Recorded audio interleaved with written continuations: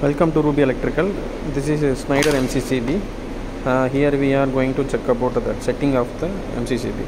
Here uh, the in this uh, MCCB it have only two trip settings. One rated current, another one short circuit current. The rated current uh, we can adjust the range from 175 to 250 current, 250 amps. In uh, short circuit current only only one setting that is 2500 amps. There is no time delay. Here also it's no time delay is there but we can check that uh, characteristics okay? In uh, here you look that is uh, here in this bottom side current in uh, left side uh, time delay. Here rated current is uh, in uh, 250 amps example 250 amps it will time delay will it will trip on here.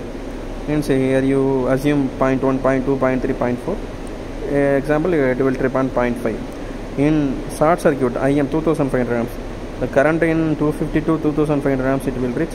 The time delay also reduced. In time delay is only in 0.1 example 0.1 it is instantaneous. It will trip on instantaneous. Okay this is uh, two kind of settings there. One short circuit and uh, overload and short circuit. Okay next uh, here uh, some NONC also there. Here uh, there is no link is there but here uh, some NONC also there. In breaker on off on trip we can get uh, indications from in this breaker. Okay this is uh, MCCB here you can look that entire look of MCCB maximum utility voltage uh, 690 it is three phase application